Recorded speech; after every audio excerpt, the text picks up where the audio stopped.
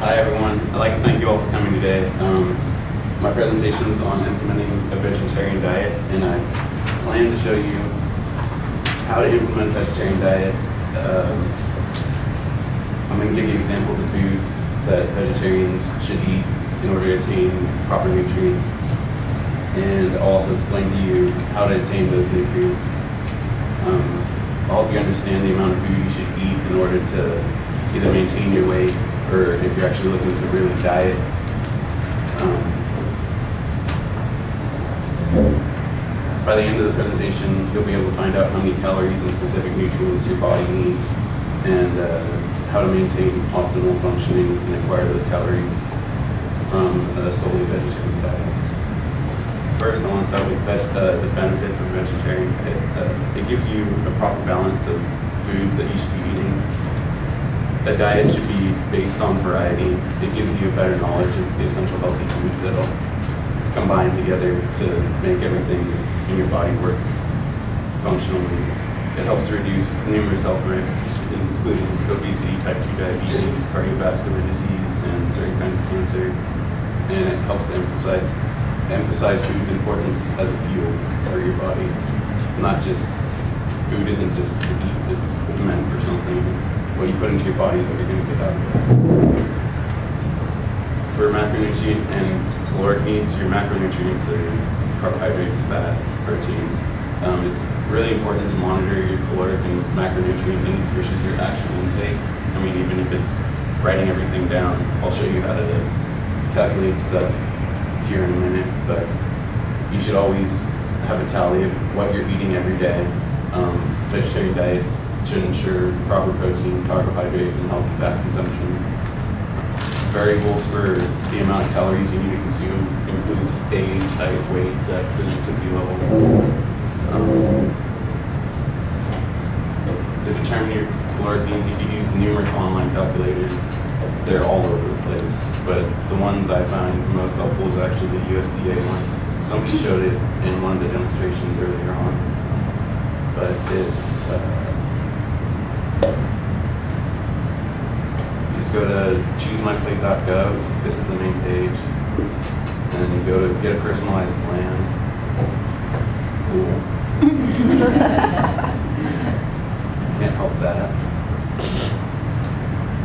Basically, it gives you like a thing where you put in your age, put, you put in your height, your weight, your uh, gender, and your activity level. I already did it for myself, so I'll show you what it was for me, and you'll have a better understanding of uh, the actual amount of calories you need to eat.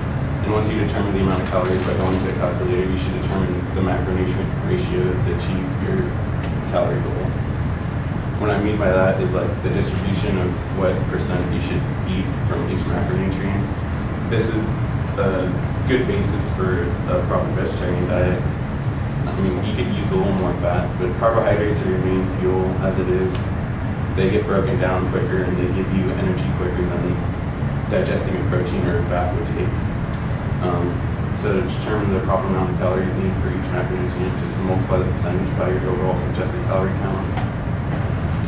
Um, once the calories for each macronutrient is determined, divide that number by four for your proteins and carbs, and nine for your fats to determine the amount of grams you need to consume each day. And that makes it a lot easier to just look at labels and see how many grams is of total carbohydrates or unsaturated fat here or saturated fat to determine um, exactly what you should get in. What they gave me, they told me I should be getting 3,200 calories a day. Um, that seemed it's okay. I probably eat about that on a daily basis, not gonna lie. but it's just combining all your foods and eating really healthy foods isn't going to be that bad of you if you calories.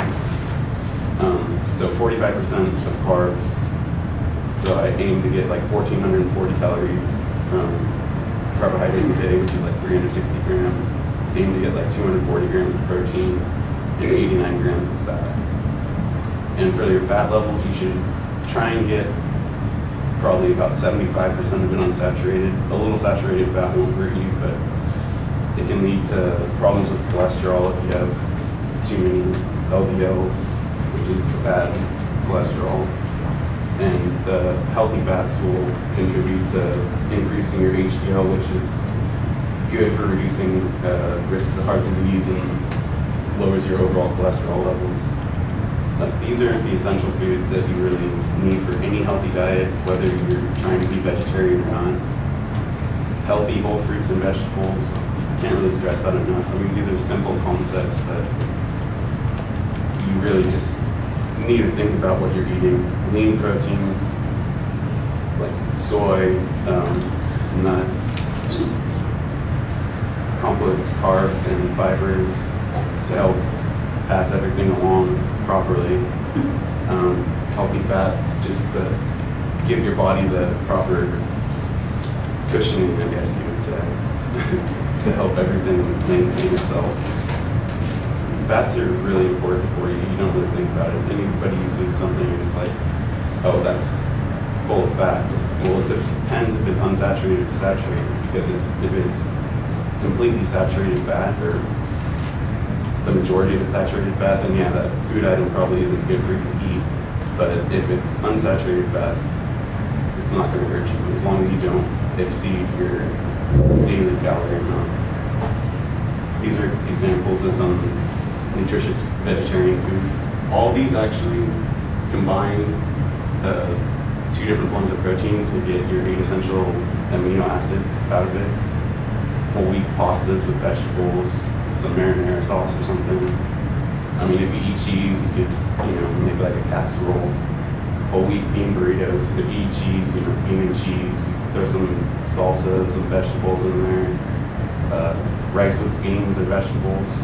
Even make a chili and put it on some rice. I mean, they're all really good things. Then fortified cereals with soy milk. That's like one of the biggest things you can possibly need to eat, I would say, as a vegetarian because there's so many different vitamins and micronutrients that you can't really get without a proper uh, fortified cereal in your diet. Peanut butter and fruit sandwiches, I mean, mix it up.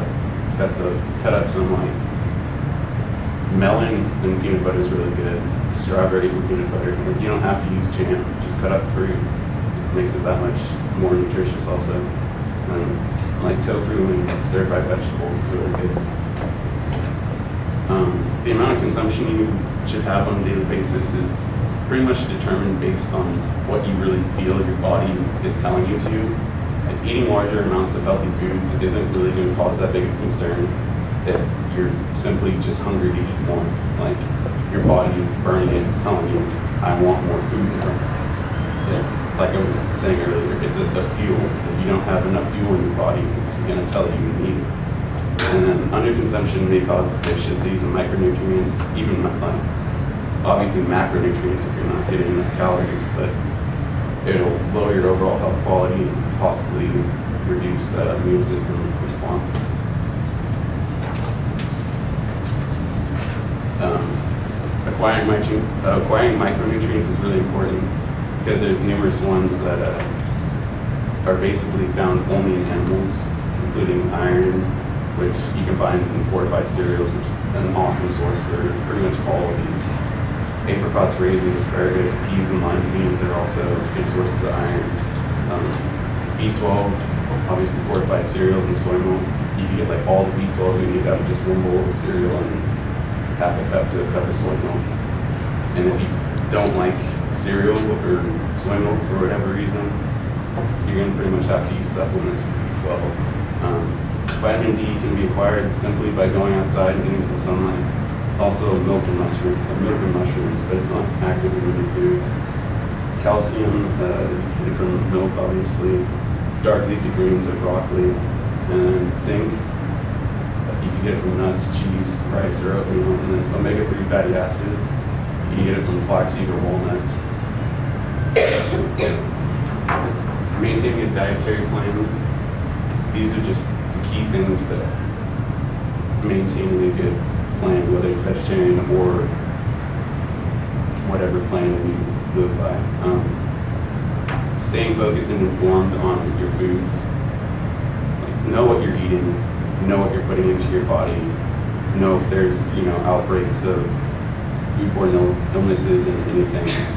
Um, look at eating right as a way of life, not as dieting. I know I've been referring it as a dietary plan.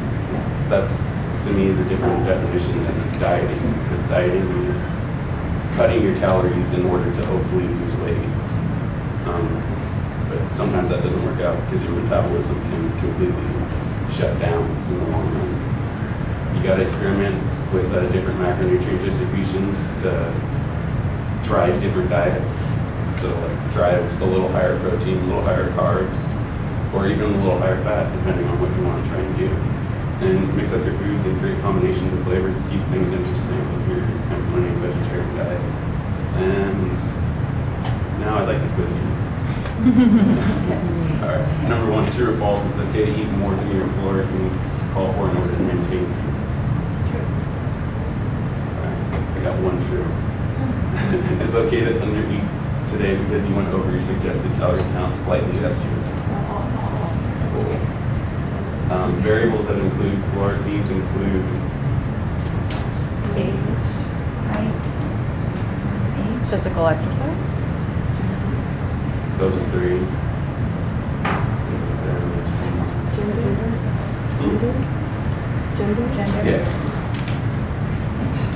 And a good plan includes fresh fruits, vegetables, Protein, carbs, carbs, I was lean protein, complex carbs, and healthy fats. That was what it was trying to get at. And then a good distribution of macronutrients for a vegetarian diet would be Forty-five percent carbs. thirty-five.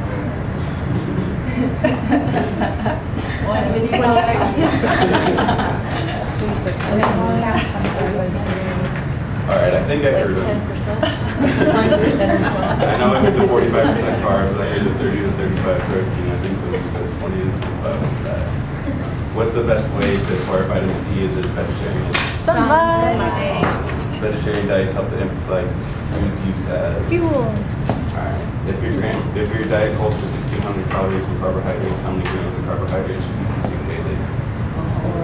400? 100. Yeah, 400. All right. Now that you all determine your know how to determine your personal calorie goals for sufficient health and receive more information on these benefits of a vegetarian diet, I hope I possibly made some of you consider evaluating and changing up the way you go about your dietary needs. Um,